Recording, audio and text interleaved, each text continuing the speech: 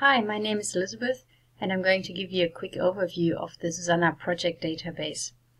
This is how it looks, but where is it on the SuSanA website? Well, let's say you started from the front page, then there's this button Knowledge Hub, which you click on, and then here you click on View Project Database to get into it. So, we're back to this page.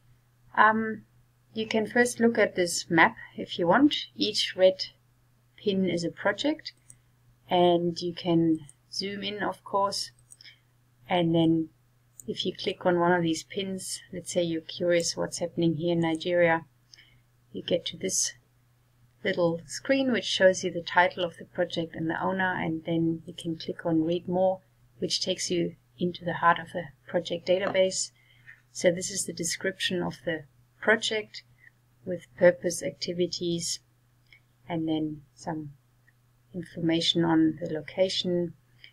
And it shows the filter tags that have been ticked for this project so it can come up when a filter search is done.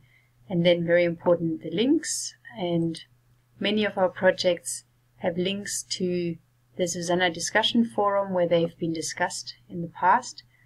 So in this case this project here is, is described and then people can ask questions and get in touch with the project owner. And I think that is very important and no other project database has that level of detail as far as I know.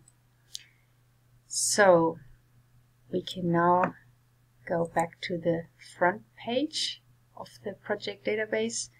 I would like to show you these filters here.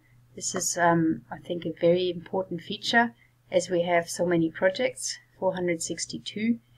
To find what you're looking for, you can either search by keyword or you can um, use these filters or both.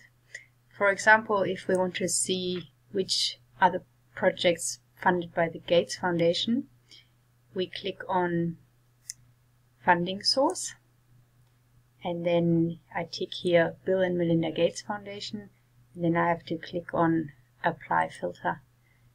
So this now shows me 308 results of projects that were funded by the Gates Foundation. And um, yes, so again, you could click on one of these and then get the full details like I showed with the other one. And you can also combine filters. So if you want to know funded by the Gates Foundation and the grant recipient was, let's say, from the private sector. So I'm combining these two filters. Click on Apply Filter and I get 56 results.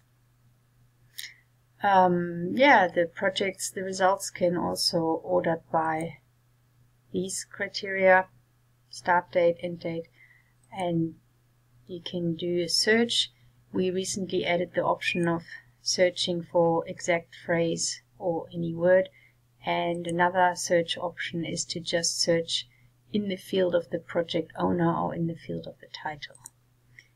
Um, yeah, I think that's all I wanted to say for now. I hope many people will add projects to it. Anyone who's a SuSanA partner can add their own projects to this and if you're not yet as a SuSanA partner we can add it for you or perhaps you would like to join.